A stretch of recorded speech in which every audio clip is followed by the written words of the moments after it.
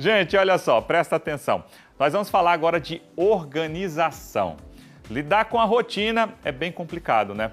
Mas com organização, tudo dá certo. Para quem não tem tempo para realizar suas tarefas ou para quem não sabe nem por onde começar, a arrumação do lar, ter um norte é fundamental. Por isso, a gente recebe a personal organizer, né? a Larissa Dorvillet, que preparou algumas dicas para você. Boa tarde, Larissa. Boa tarde, Lohan, tudo bem? Tudo bem. Eu quero saber primeiro assim dessas dicas para eu começar também a me organizar mais em casa também. Porque todo mundo sabe, né, Larissa, que a organização parte também da questão de utilizar melhor o tempo, não é isso? Isso. É, a organização, na verdade, um dos maiores benefícios que ela traz é justamente isso, né? A gente conseguir aproveitar o tempo é, de uma forma mais otimizada. Maravilha. Então, gente, dar o primeiro passo é fundamental, então. Com certeza, com certeza. Então, por isso a gente separou também algumas dicas para você que está em casa. É, a galera mandou para a gente para a Larissa estar tá respondendo e orientando. Primeira dica, Larissa. É, tenha um planejamento semanal. Por que ter um planejamento semanal? Porque dessa forma você consegue visualizar melhor a sua semana. E como é que você pode fazer isso? Você pode dividir é, em três blocos, manhã, tarde e noite, escrever tudo que você precisa resolver, deixar bloqueado os horários que você tem é, como atividades fixas certo? E daí você vai elencar daquelas prioridades que você, daquelas tarefas que você colocou que precisava resolver, você vai elencar as prioridades e aí você vai encaixando. Você consegue visualizar essa semana e ter uma maior produtividade.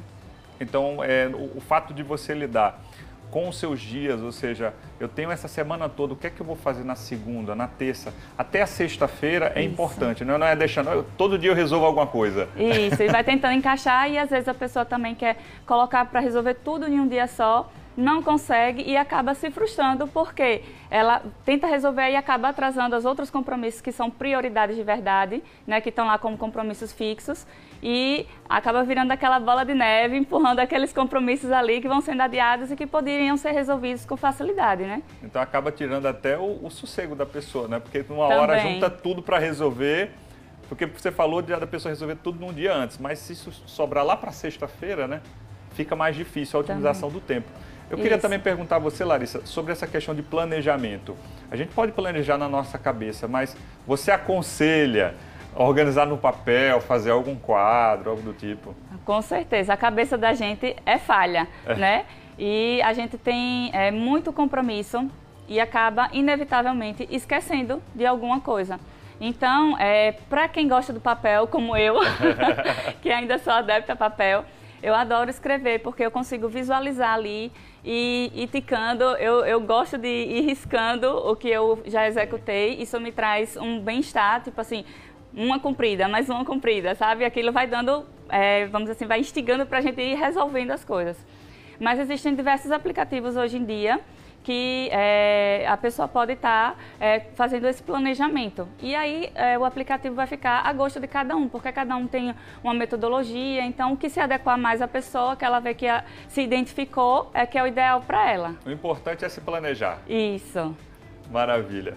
Vamos para mais uma dica aqui da Larissa de organização. Segunda aí que é regra de ouro para manter a organização. Como é que é essa regra de ouro? Então, para a gente poder é, manter essa organização, é primordial que se a gente tirou do lugar, a gente devolva para o lugar. Hum. O que é que isso significa? Não sair deixando as coisas espalhadas pelo meio da casa.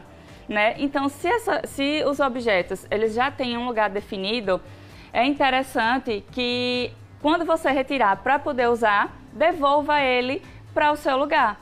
Se não, pode. É o que, é que acontece. Às vezes, em algumas casas, não vou dizer na maioria, mas em algumas casas, a mesa do jantar acaba virando a mesa em que todo mundo coloca tudo em cima dela. Chegou, chegou da rua, trouxe alguma coisa, tá lá em cima da mesa. Né? Exatamente, né? exatamente. E aí, às vezes, você não consegue nem jantar na própria mesa, né? Você não consegue dar a destinação dela, que, que é o jantar, fazer as refeições. Então, é isso. Tirou do lugar, coloca lá. terminou de usar, coloca, devolve para o lugar. É tão rapidinho, fica muito mais fácil do que você ter que pegar um tempo maior para pegar tudo aquilo que você saiu deixando durante o dia, durante uma semana, para devolver para o lugar, né? Agora sempre tem aquela desculpa, né? Ah, é porque eu estava correndo para sair para o trabalho, é porque eu estava apressado, mas é, é melhor guardar. É uma questão de hábito. A gente diz que a organização é um hábito. Tá? Então, é, tem pessoas que já nascem é, mais, é, com, com mais predisposição para a organização, mas essa organização ela é questão de hábito, entendeu? Então, isso é uma coisa que você vai treinar. Se você treinar, qualquer pessoa pode ser organizada, basta ela querer. Começa inserir aos esse poucos, né? hábito, é, exatamente, inserir esse hábito na sua vida, no seu dia a dia. Que maravilha, Larissa. Tem mais aqui uma dica importante. Procure deixar o que usa né, com frequência mais visível e de fácil acesso.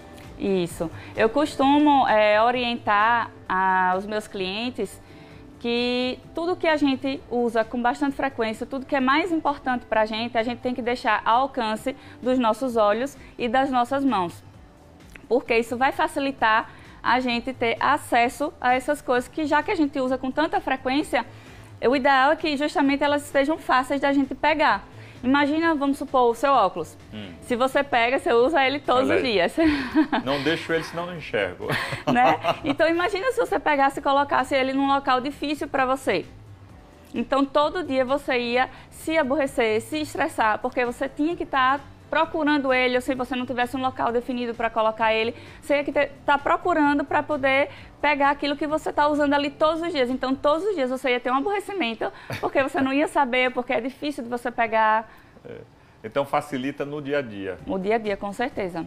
Que maravilha. Vamos para mais uma dica aqui. Quarta dica: criar uma caixinha de entrada para colocar objetos, como chave de casa, carteira, óculos. Facilita aí. Depois, pois eles estão num, num único lugar. Isso. Isso aconteceu lá em casa. Depois que a gente colocou um lugarzinho para pendurar chaves, melhorou muito, viu? Porque até para achar a chave era ruim na hora de sair É. de casa.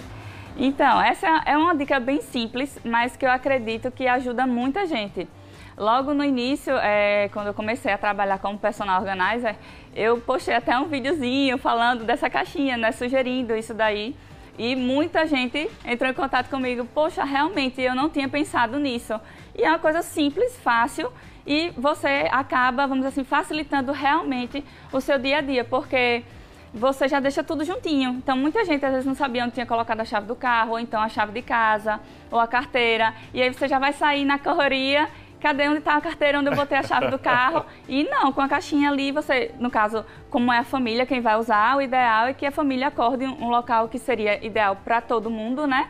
Porque aí todo mundo vai saber onde que estão aquelas coisas, né? E aí você vai criar o hábito de colocar o óculos, a chave, o que seja né, interessante para a pessoa ali, que te, de fácil acesso para você entrar e sair de casa. Entrou, colocou ali. Vai sair, só é pegar e sair rapidamente. Facilita a vida de todo mundo. Com certeza.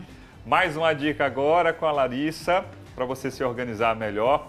Use etiquetas, pois facilita a identificação e, consequentemente, você ganha tempo. É verdade, a etiqueta tem uma função importante, não é só do, mercadinho, não, né? Não.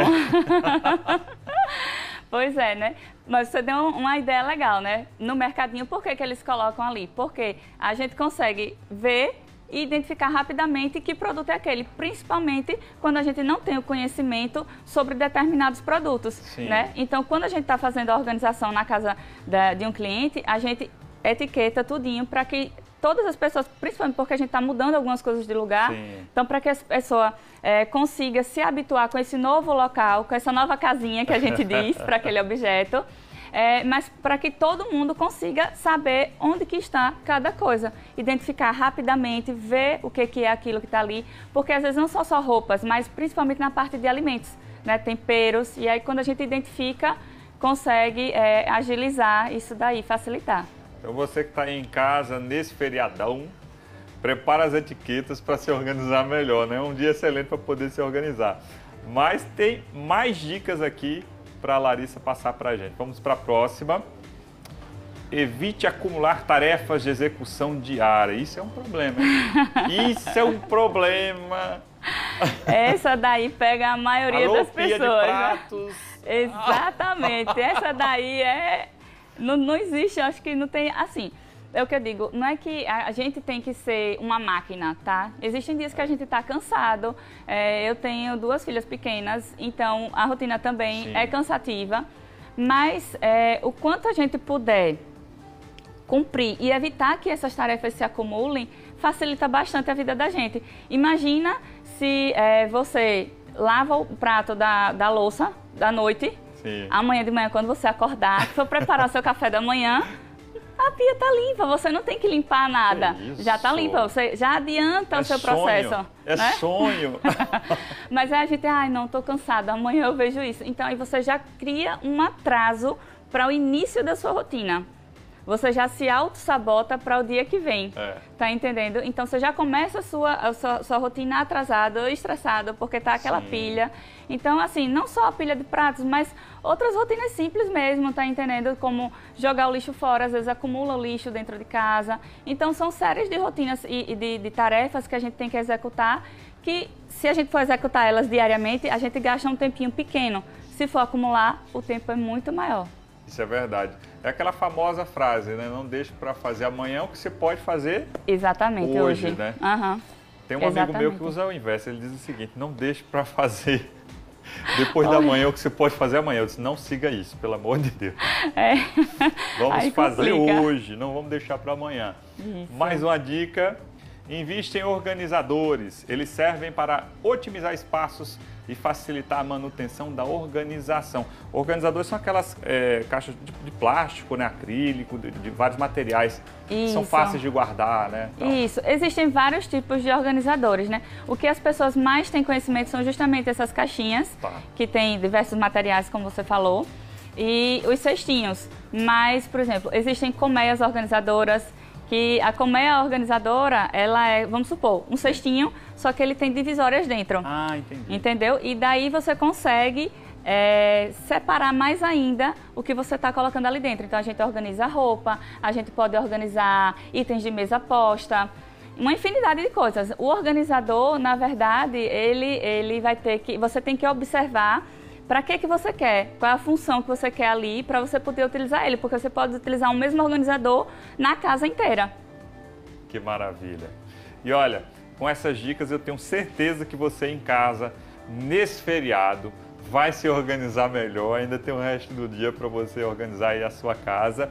E eu quero agradecer aqui a Larissa, que trouxe essas dicas maravilhosas, agradecer a sua participação, também parabenizar pelo seu trabalho. Eu tenho certeza que vai facilitar a vida de muita gente, inclusive lá em casa também, que eu estou precisando me organizar melhor, que eu diga minha esposa. Mas enfim, deixa também o seu Instagram, como é que as pessoas podem te encontrar, é, conhecer mais do seu conteúdo que você produz. Tá, eu que agradeço a oportunidade, Lohan, de vocês, é, da gente estar aqui é, e mostrar um pouquinho do nosso trabalho, né, do Personal Organizer. E caso vocês tenham interesse, é, o meu Instagram é Larissa Dorvilê, Organizer. E lá tem vários vídeos e dicas para vocês se informarem mais um pouquinho sobre a organização. E qualquer dúvida é só entrar em contato comigo pelo direct. Que maravilha. Então, ó, vamos nos organizar. Obrigado, tá, Larissa? Obrigada a você.